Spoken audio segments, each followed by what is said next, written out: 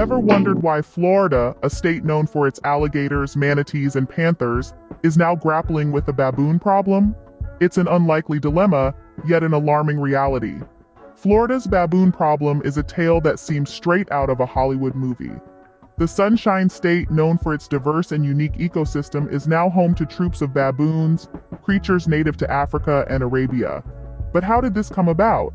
The answer lies in the strange and unpredictable world of exotic pet trading. Baboons, known for their intelligence and adaptability, have been brought into Florida as pets. However, these exotic animals are not meant to be confined within homes. They are wild creatures, requiring vast spaces to roam and complex social structures for their well-being. When these pets escape or are released into the wild by overwhelmed owners, they find their way into Florida's wilderness.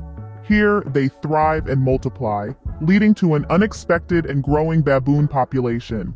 The problem? Baboons are not native to Florida.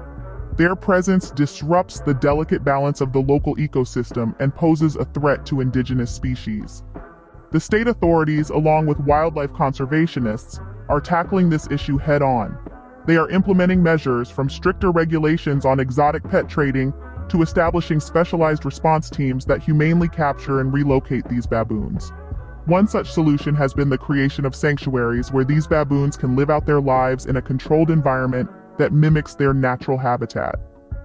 These sanctuaries also serve an educational purpose, raising awareness about the dangers and ethical issues surrounding the exotic pet trade. Another measure involves using radio collars to track the movement of these baboons, which enables wildlife teams to monitor their populations and intervene when necessary. This technology, coupled with the tireless work of wildlife conservationists, is pivotal in managing this unusual problem.